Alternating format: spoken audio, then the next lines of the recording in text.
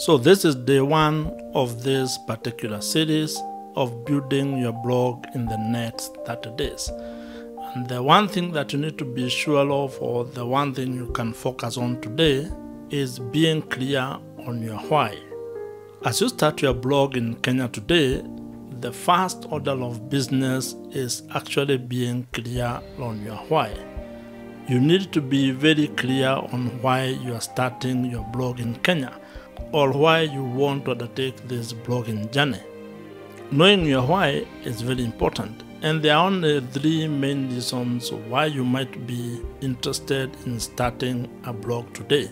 And these reasons are one, to build your personal brand, two, to build an income generating online business, and three, to just have fun with blog as your creative outlet. When your why is strong enough, it will be a very important aspect as you build your blog because you will be able to overcome challenges and the difficulties that you are going to face as you build your blog into a profitable business. So, today, spend a few hours or a few minutes just thinking about your why.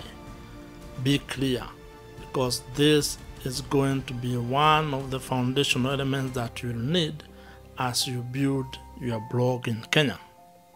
If you want the actual or the digital copy of my blogging growth roadmap, I have it available for free in the description below and you can go ahead and download it. You can print it or do whatever you want with it, but at least if you follow the steps in this blogging growth roadmap and stay consistent, you should be able to succeed building a profitable blogging business in Kenya.